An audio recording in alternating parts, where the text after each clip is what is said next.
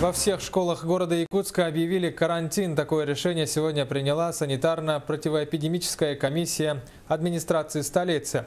Цель – недопущения вспышки заболеваемостью гриппом и ОРВИ. Таким образом, учебный процесс для школьников с 1 по 11 классы приостановили на срок с 17 по 23 января включительно.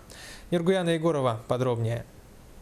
По данным еженедельного мониторинга в республике регистрируется эпидемический подъем заболеваемости гриппом и ОРВИ. За вторую неделю за медпомощью обратилось 7,5 тысяч человек. По отдельным классам порог принимается, когда количество заболевших детей превышает порядка 20%. Ограничительные меры предприняты на территории всего городского округа. Увеличение порога практически по сравнению с прошлым годом, ну, количество, по количественному составу, да, порядка 105%. А мы тоже проводим э, определенный мониторинг по заболеваемости детей. В понедельник э, состоится очередное заседание, будут э, приняты дальнейшие решения.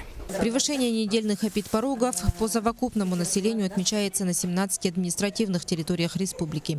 В Якутске за вторую неделю наибольший прирост заболеваемости отмечается среди школьников. В структуре заболевших 80% больных являются дети а, необходимо отметить, что среди школьников заболеваемость выросла, выросла в два раза, и эпидемические пороги среди них превышают на 95%.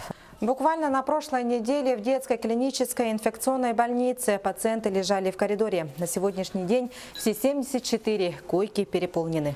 Данные лабораторного мониторинга показывают активную циркуляцию вирусов сезонного гриппа А и Б.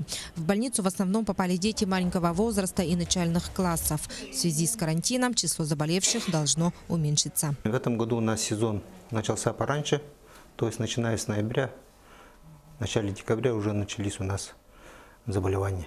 Школьники, которые получили э, вакцину гриппол плюс э, сезонно в этом году, да, они меньше болеют больше поступают дети до трех лет.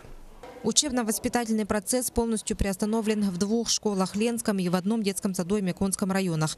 Также специалисты опровергают слух заболеваемости менингококковой или энтеровирусной инфекции в одной из столичных школ. Эпидемиологи рекомендуют соблюдать все меры профилактики.